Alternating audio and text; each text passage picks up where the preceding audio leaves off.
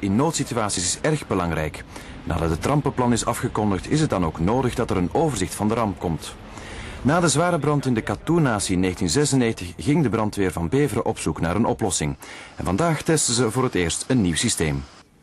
Het mobiele systeem loopt nu proef bij de brandweer van Beveren. Een wereldprimeur voor hen.